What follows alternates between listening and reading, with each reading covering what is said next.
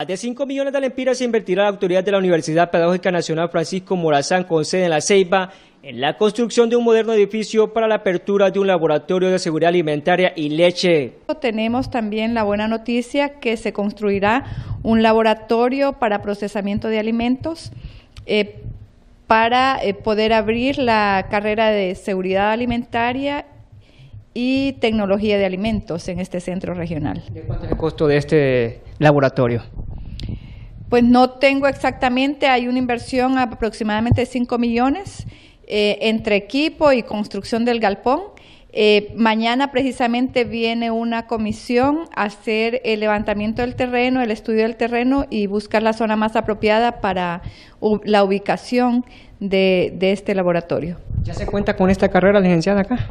No, la carrera se proyecta abrirla en el próximo año. Asimismo, en el centro regional este año se construirá un moderno complejo deportivo para el fortalecimiento de las diferentes disciplinas deportivas. Buenas obras que van a fortalecer este centro en su desarrollo para el beneficio de nuestro estudiantado.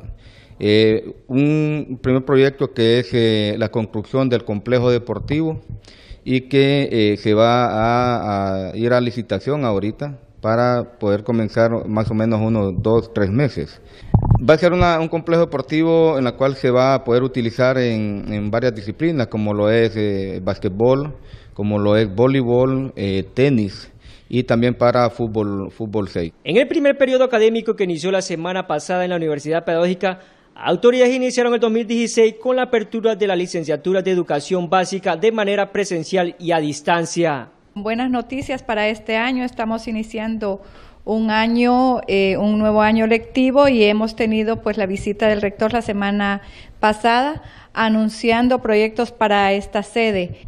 Tenemos entre el sistema presencial y el sistema distancia, tenemos 2000, más de 2.000 estudiantes matriculados, como unos 2.100 estudiantes en este primer periodo. Para Telenoticias les informó José Guía en cámaras, Arena Morado.